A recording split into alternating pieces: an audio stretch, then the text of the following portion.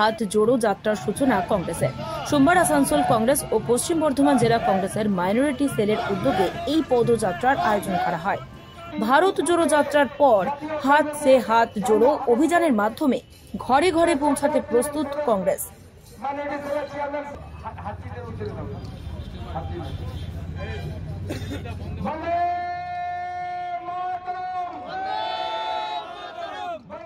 এদিন আসানসোলের উষাগ্রাম থেকে এই পদযাত্রার সূচনা হয়ে শেষ হয়।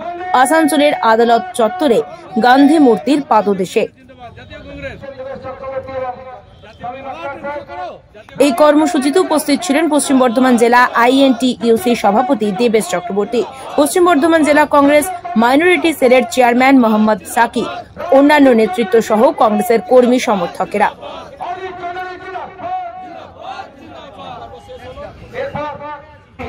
हर जगह आज गांधी जी के हम लोग मूर्ति के पास उपस्थित हुए हैं जो राज- हनुमान मंदिर पंडित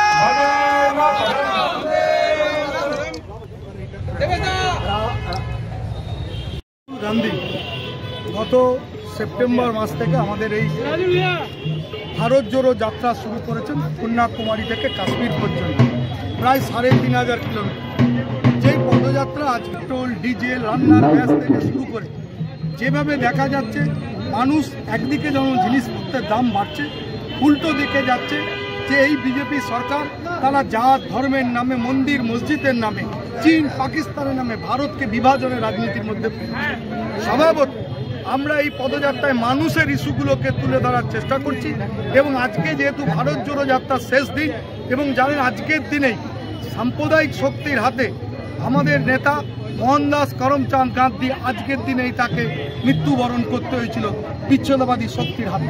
তাই আজকের দিনটিতেই আমরা স্মরণ করছি ভারত জোড়ো যাত্রার আজকে সমাপ্তি দিন এবং হাত সে হাত জোড়ো যাত্রা আমাদের জেলাতে আজকে শুরু হলো আগামী দু মাস প্রত্যেকটা ব্লক প্রত্যেকটা অঞ্চল প্রত্যেকটা গ্রামে আমাদের এই হাত সে হাত জোড়ো যাত্রা শুরু হবে। दादा आज जो आप लोग बड़ा जोड़ो यात्रा समाप्त हुआ है आज आप लोग उसी पर एक यात्रा निकाले हाथ से जो हाथ से जोड़ो यात्रा माइनॉरिटी डिपार्टमेंट से निकाला गया आपका दो माइनॉरिटी पार्षद है एक गुलाम सरवर एक एस एम मुस्तफ़ा जो कोई भी आसनसोल में कांग्रेस के कार्यक्रम में नजर नहीं आते हैं और और एक इल्ज़ाम है कि बीजेपी को ऐसा इल्ज़ाम उठाता कोई मुद्दा उठाता अगला दिन सेम यही दोनों पार्षद वही मुद्दा उठाते हैं।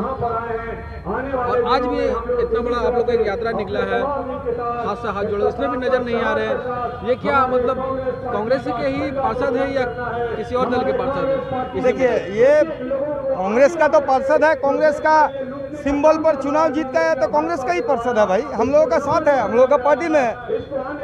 और क्यों नहीं दिखाई देता है, क्या नहीं दिखाई देता है, इसका जवाब तो जिला अध्यक्ष ने आप लोगों को बताया। अब हो सकता है कि उन लोगों का कोई निजी मामला में काम हो, निजी काम में वो लोग बिज़ी है।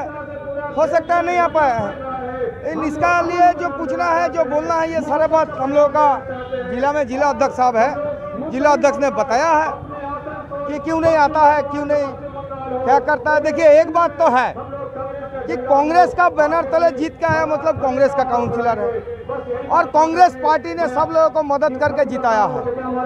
झंडा, एक झंडा भी अगर दिया है और पार्टी का सिंबल भी दिया है तो कांग्रेस पार्टी का देन है अधित चौधरी, राहुल गांधी का देन है। तो राहुल गांधी और अदित चौधरी का देन को रखते हुए जब काउंसिलर जब बना है तो कांग्रेस का काउंसिलर है।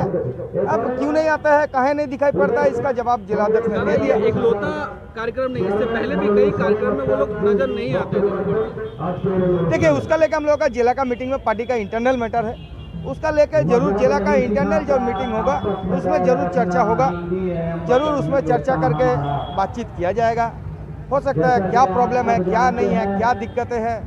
और अब जो बोले कि बीजेपी का मुद्दा पर हाँ एक्चुअली कांग्रेस का दो काउंसिलर है बीजेपी का भी तो आज का डेट में चार काउंसिलर बचा हुआ है। तो एक्चुअली आसनसोल में विपक्ष का आवाज़ ऐसे ही हो गया है। आसनसोल नहीं, पूरा बंगाल, पूरा देश में ही।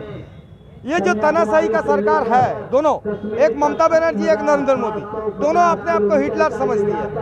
ये हिटलर शाही का खिलाफ लड़ाई करने के लिए प्लेटफॉर्म कांग्रेस पार्टी है कांग्रेस पार्टी का प्लेटफॉर्म से उन लोग आवाज़ उठाता है हो सकता है कभी कभी जो आवाज़ कांग्रेस पार्टी का तरफ से हम लोगों का पार्षद उठाते हैं वही आवाज़ बीजेपी भी उठाते हैं आसनसोल में कहीं पर ऐसा भी होता है कांग्रेस कमेटी के चेयरमैन मैं समीम अख्तर साहब से भी गुजारिश करूंगा कि आप राष्ट्रपिता महात्मा गांधी जी की मूर्ति के ऊपर में আসানসোল থেকে নিজস্ব প্রতিনিধির রিপোর্ট টিভি নিউজ प्रार्थना